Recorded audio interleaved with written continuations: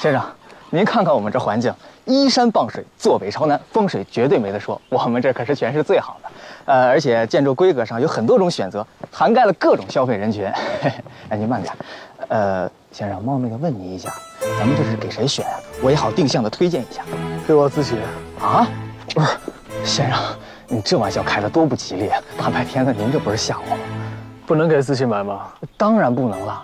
明文规定，这墓地是给逝去的人，我这可是正规销售，而且买墓地需要各种证明，比如死亡证明啊。我我没跟你开玩笑，这些证明很快就会有了。啊！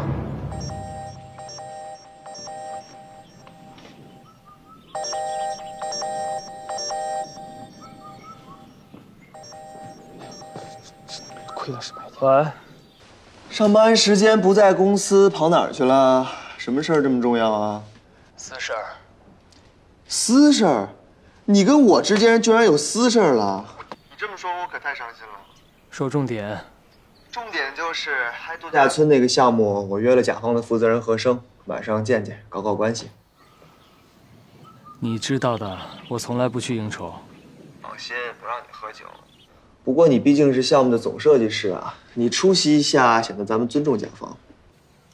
你这个投资人都去了，还不够尊重啊？你不是还要靠这个项目拿金案奖吗？不想评三大奖了？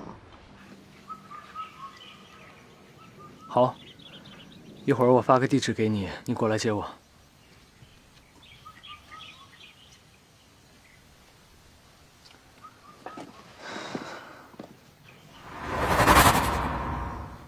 曼琳，他居然挂我电话！我是这个世界上最关心他的人，他想干什么我都陪他一起。他开心的时候我陪他一起开心，他不开心了我还得哄着他开心。他居然挂我电话，他为什么呀？你们兄弟俩的事儿，我能发表什么意见？苏总，会议室有面试。好，我马上就来。什么面试？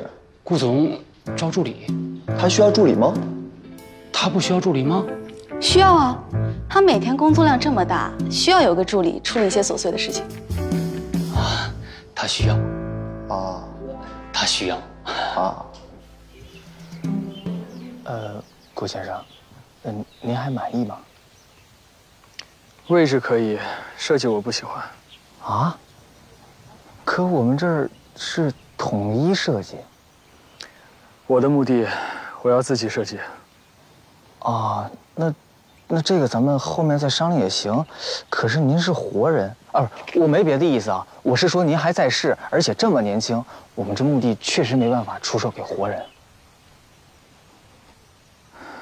那些资料过后应该很快就会凑齐的。哦。